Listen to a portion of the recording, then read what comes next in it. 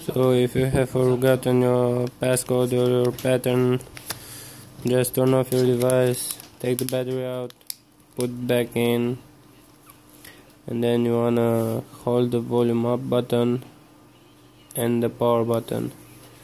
Now when this logo appear, you can release both of them, and this will take you on this menu as you can see you don't have the options here so what you want to do is tap both of the volume up and power at the same time for a few times so the menu will appear.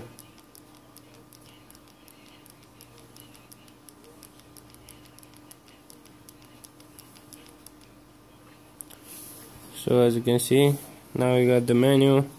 Scroll down with the volume down and select wipe data factory reset. You can select with the power key. Go down and select yes.